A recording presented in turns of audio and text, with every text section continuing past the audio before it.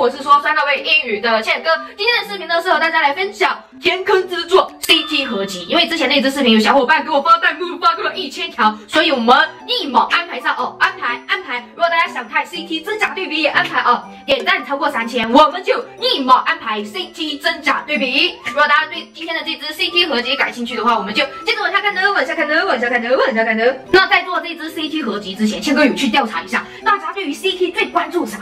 然后我懵逼了，我真的懵逼了。大家买 CT 最想买什么？请大声的告诉我，T O me，T O me。不知道我有没有猜对啊？如果想买口红的呢，就请扣一；如果想买眼影的呢，就请扣二。哎哎，那我之前我以为大家最想买的是 CT 的眼影，然而然而不是的，不是的，大家最想买的居然是 CT 的口红。我有一些惊呆啊，不惊呆了，不惊呆，我们直接进入正题啊。所以呢，我们第一个要和大家说到呢，就是 CT 的口红。那我手上买的色号呢并不多，CT 我的色号呢也不多，那我就入了两支来和大家分享。哇哦！第一个要和大家说的呢，就是 CT 的口红的王炸产品，来自于他家的 Walk。谢哦，是这一支，这一支啊，这一支呢是一支玫瑰豆沙色。哎呀，哎呀，就那种形容啊，玫瑰调的温柔通情，哎，人畜无害。Many many people 特别喜欢这一支啊，喜欢呢，因为我现在开始转阳池了啊。但是我觉得对于我来说还好哎，就没有特别显白，但是显气质、显温柔，日常通勤它是有的，大家看一下，是吧？是吧？这个没有夸张吧？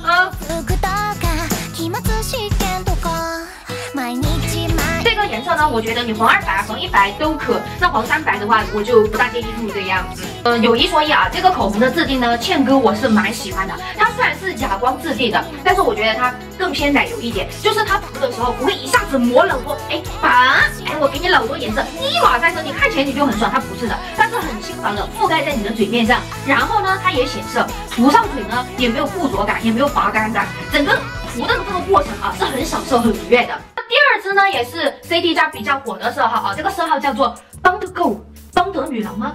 我不知道有没有读对啊。很多人说它是秋冬的颜色，一秒入冬，秋冬的代名词。但是在倩哥这儿，我觉得它不是哎。呃，这么说吧，如果它是秋冬的代名词，那倩哥的人生中以后就没有秋冬了，只有春夏。我觉得这支颜色呢，它是一种紫棕调的豆沙色。反正我觉得不是很好看啊。刚刚的那个 Walk of 谢呢，你可能是个小女孩，那这个你涂了你以后呢，你就变成老阿姨。所以这支啊，我就真的不建议大家买，可能未必有一些人喜欢吧。讲真，黄皮啊。紫调的口红一定要慎选，一定要选非常非常好看的。但是帮的 Go 这一支绝对不是你最佳选择。这个涂上嘴的颜色就特别特别像那个火影忍者里面我艾罗他哥哥的唇色。我艾罗他哥叫啥来着？等等啊，我是个火影迷，我居然不知道他哥叫什么名字。让我想想，让我想想，我想想，我想想。哦，对对对对对对，看九郎，这个颜色就是看九郎的颜色啊。那接下来呢倩哥要和大家分享的呢是 CT 家的眼影，我手上 CT 的眼影啊，有六盘小盘子，还有一盘长条的这个。其实我想收那个面部综合盘的，就一直没抢到货这样，所以呢，我们就先从小盘子开始讲。那第一盘要和大家说到呢，就是来自于 CT 他家的 Pinotalk 这一盘呢，讲到你说实话哦，如果不出视频，倩哥我呢是不会想买的，因为之前我有在专柜摸过，然后我就发现就是它就是一个全粉调的眼影盘，四个颜色，每一个颜色都很粉，这四个颜色呢都长得差不多，除了那个深棕色，它在。你眼睛上的效果就跟直男一样啊！看你嘴上的口红，吃土色、豆沙色、肉桂色，它们看起来都一样。那这个眼影盘在我这儿都是了啊！倩哥不是色盲啊，我也不是直女，我还是能分清楚颜色的。讲真，它们变化真的不大。那 P 诺透 k 这一盘，倩哥的感觉就是啊，如果你不是个肿眼泡呢，你画出来你就是人间水蜜桃；那如果你是个肿眼泡呢，可能就没有那么消浮肿这样。嗯。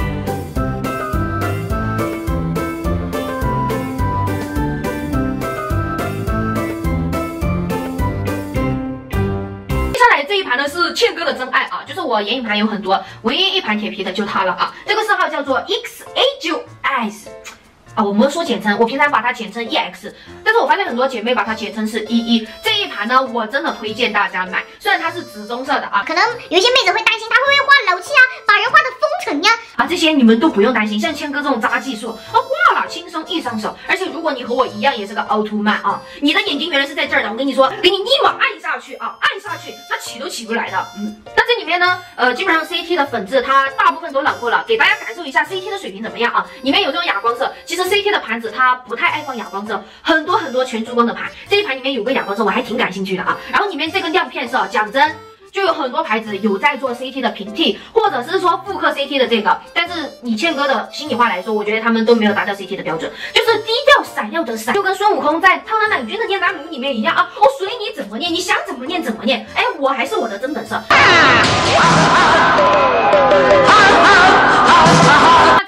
他做得到。那另外呢，就是它这种断光质地，可能有一些妹子不太喜欢断光。我觉得它这个光，我觉得还算是做的不错的。因为缎光，如果你皮肤就是质感不是很好啊，肌理不是很好，它就很容易显纹路。但是倩哥用它的话，我觉得还蛮不错的。然后它这个哑光色呢，很顺滑。咱们小盘的眼影啊，诉求就是轻松易上手，好画，消肿不浮肤，不浮肤。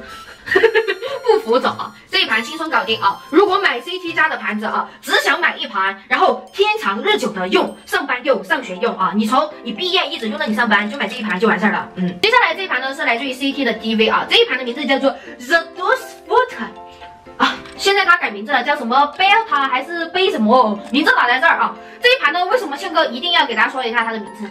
因为之前我买到假的啦，我很生气，我很生气。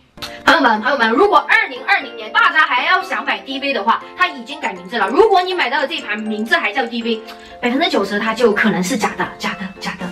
盘眼影盘呢，啊，我觉得你可以买，但是说没到非买不可的程度。以倩哥的想法是说，就是如果你的技术你觉得，哎，我可以，我不错，你已经到钻石级别了，那你可以买。如果你是新手小白，我就劝退，劝退，因为这一盘它的颜色啊，就是很容易画重手。大家看一下，除了这一颗，大家看一下，这三颗颜色都是那种眼尾加深色，就是你画的过程中你就情不自禁啊，忍俊不禁。哎，这是什么词儿啊？就你莫名其妙、潜移默化的。你就会越画越重，越画越重。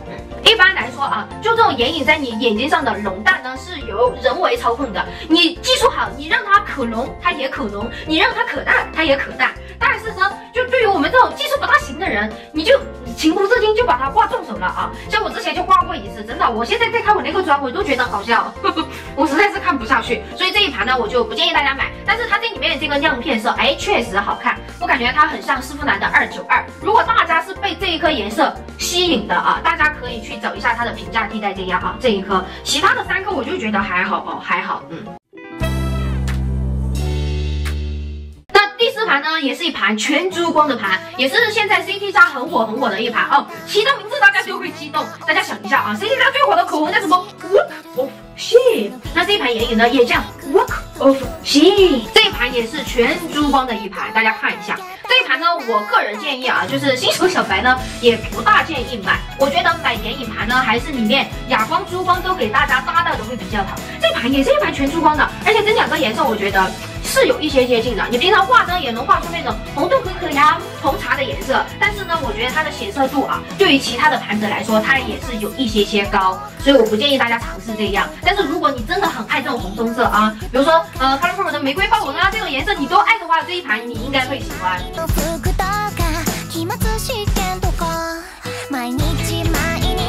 接下来倩哥要和大家说到的是今年夏天的一盘，叫做不是今年夏天，去年的。哎，我怎么思维还没有到二零二零年呢？我不知道大家和不和我一样啊？我只有过了年啊，过了我们中国的大年以后，我才会觉得这是新的一年。前面的一两个月是用给我来做预备的。我现在我还觉得我在二零一九年。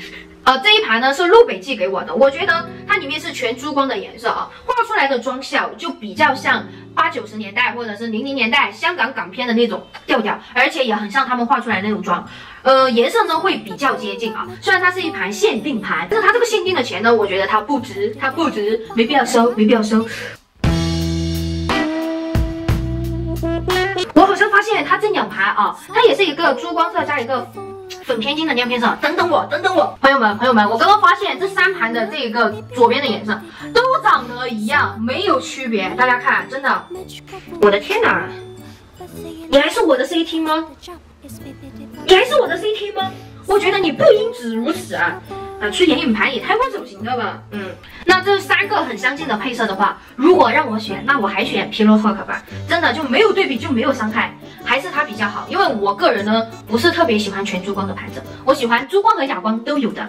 接下来和大家说到的这一盘呢，叫做 Try for Eyes，这一盘呢是 TF 啊二十六号的平价替代。其实到底是不是我也不知道，我也没有 TF 的时候，建哥买了 TS 对比了一下，TF 二十六号没有四 T 的好用，尤其是 TS 的棕色，石化不太好晕。我也没有 TF 的二十六号，我那会儿就是被他说是 TF 二十六号屏障替代所吸引才买的。那对于倩哥来说，它值不值呢？我觉得还可以，还可以。倩哥刚刚也和大家说了，就我不是特别喜欢全珠光的盘子。那这个盘子呢，里面它有一半的哑光，我感觉它既像 Tom Ford 的二十六号，也像香奈儿的二六八。给大家看一下啊，这一盘的粉质很不错，很不错，哑光顺滑。珠光软弱，而且你买的是专柜的牌子，一盘兼具了三盘，你想想嘛，你有汤姆福二十六号了，你有 CT 了，你又有香奈儿二六八了，哎呀妈呀，这三盘加在一起也得一千五六百吧，哇，想想就很开心，一盘在手，三盘都有。那谦哥之前也和大家说过啊，我是很讨厌整个盘子里面的颜色都长得很相近的。那这一盘啊，大家可能会感觉这两个黄比较接近，其实不然的，不然的。这两个颜色你都可以把它用来当做单的眼中提亮，呈现的效果是不一样的，不一样的。那这一盘呢，倩哥真心掏心窝子的给你们说啊，除了 EX 可以买，这一盘也不错，哑光、珠光都有搭配的啊。你们是倩哥的前辈，我希望大家花的钱值，看了倩哥的视频去买，它值。